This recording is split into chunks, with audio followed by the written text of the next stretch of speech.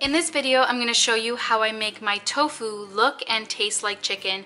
It's probably way easier than you think. You just need a little bit of patience and to follow a few easy steps, so I hope you enjoy. So start by grabbing some tofu from your local grocery store. It doesn't matter what brand you use. I've used different brands um, as long as I get the extra firm. That's what I'm looking for and that's what I use. Then I'm just going to open up the package and uh, dry it off a little bit.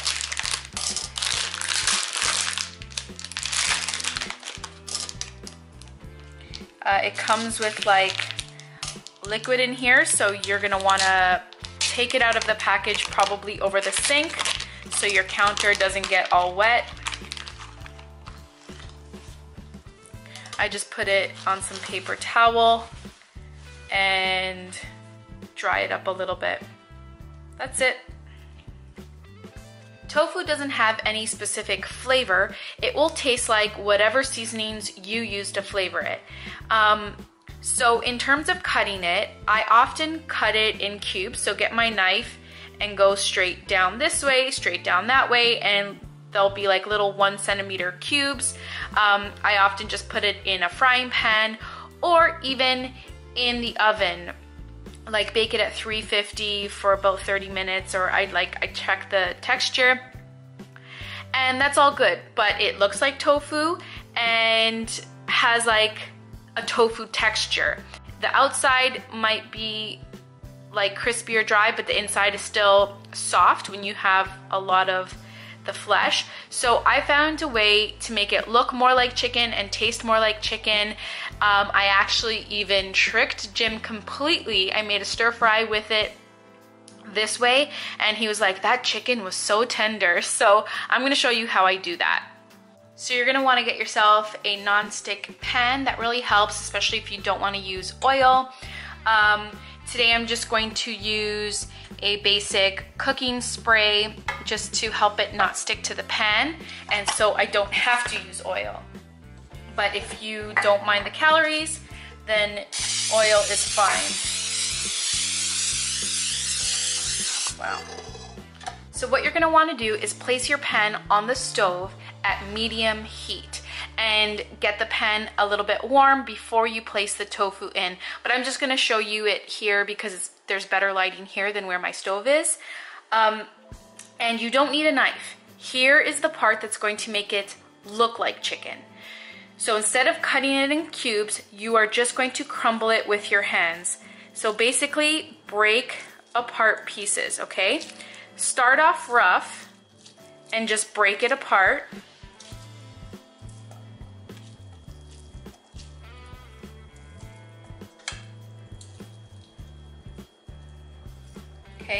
Then get the bigger pieces and break them apart. Exposing more of the center spongy soft flesh and getting that on the heat and getting it uh, more evenly cooked and coated gives it more of a firm texture and it just really it looks more like chicken and then it helps to taste more like chicken rather than soft, spongy tofu. So I often just do a rough thing like this and then while it's cooking I continue to break things apart that I think looks like a weird shape. And if I want it to look more like chicken I'll just cut it with my spatula. But um, I'll do it now So at this point when I'm usually doing this, it's on the stove and it's getting warm and I'm hearing the sizzling. And this is where I'll season it while it's on the stove. So I always season my tofu with the same three ingredients. Sea salt, black pepper, and garlic powder. These three staples make the tofu taste delicious, whether you're uh, frying it up on a pan or baking it in the oven. This is the perfect combination. The additional seasonings all depend on what kind of flavor I'm going for.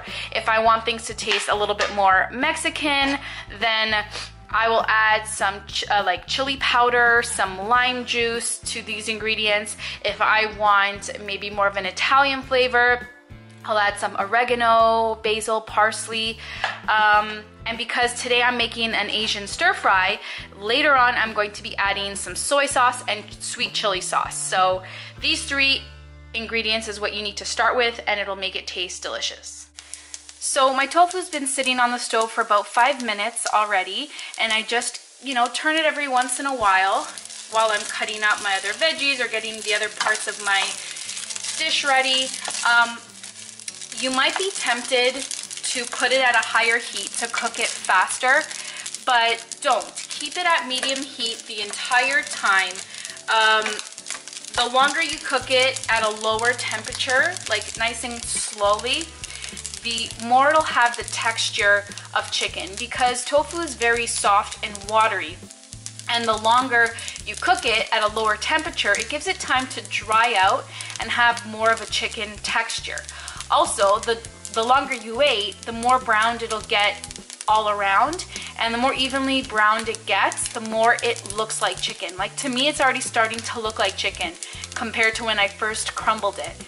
So yeah, the longer you get it browned, the longer you let it dry out, it's gonna look and taste more like chicken. So you have to be patient.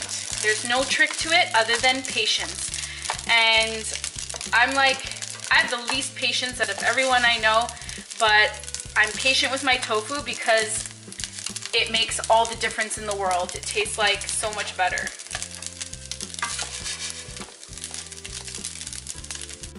So it's been cooking on the stove for about 15 minutes at medium heat, but personally I like things a little bit more brown, so I'm probably gonna keep it on uh, lower heat, like go right down to low and keep it on for another five minutes before I pull it off the stove.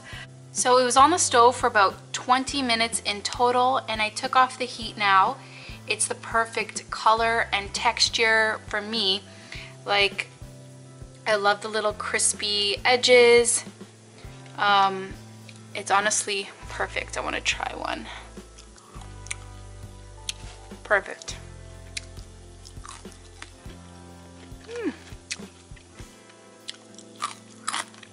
Mm-mm-mm. It tastes good just like this. Like honestly, I'd eat this as a snack. I like the smaller little crispy pieces. So yeah, now I just have to combine this all with my sauteed veggies and my steamed rice. So this is the finished product and I think it looks absolutely delicious and it honestly tastes even better. It's all about the seasoning. So if you feel like it doesn't have any flavor, then you probably need to add a little bit more of the seasonings. While my rice is finishing up in the slow cooker, I have some vegetables sauteing on the stove at medium heat. I just put in a little bit of water to get it tender and um, now I'm just going to add in some Bragg soy seasoning. If you have soy sauce, you can use that as well. And I'm also going to throw in some sweet chili sauce.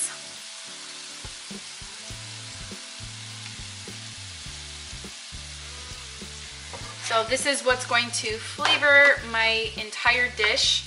If I need to add more, once I add the tofu and rice in, then I'll add more. I'll just taste it and see.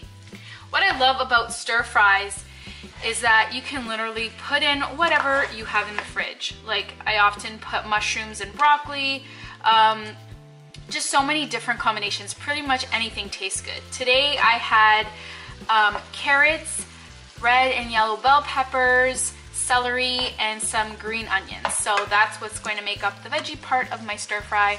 And my brown rice is almost ready. And then I'm just gonna combine everything into this pan and mix it up. You don't need to worry about all the liquid that the vegetables are producing. Um, it's mixing with the seasoning and it's making like a nice sauce and all the extra liquid will be absorbed by the rice and the tofu. So I cooked my vegetables for about five or 10 minutes and I got it to the perfect tenderness that I like. Um, and now I'm just going to um, add everything else in.